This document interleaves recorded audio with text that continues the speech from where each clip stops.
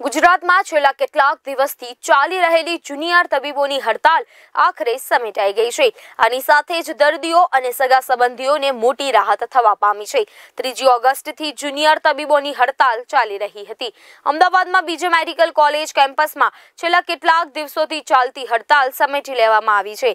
રાજ્ય સરકાર દ્વારા જુનિયર ડોક્ટરની માંગણીઓ સ્વીકારતા હવે બીજે મેડિકલ કોલેજના જુનિયર ડોક્ટરો દ્વારા હડતાળ પૂરી કરવામાં આવી છે.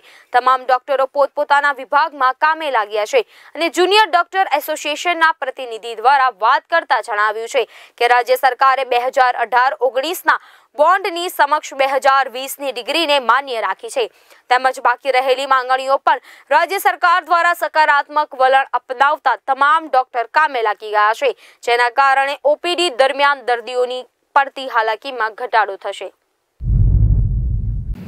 સરકાર દ્વારા અમારો ફક્ત બોન્ડેડનો એક પ્રશ્ન ઉકેલાયો છે. હજુ બીજા ઘણા બધા પ્રશ્નો બાકી છે.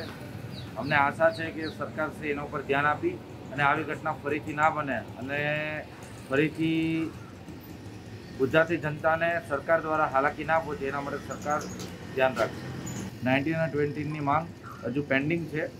તે માંગ અમને આશા છે કે ગવર્મેન્ટ યોગ્ય રીતે ઉકેલ લાવી અને એનું યોગ્ય નિવારણ લાવશે.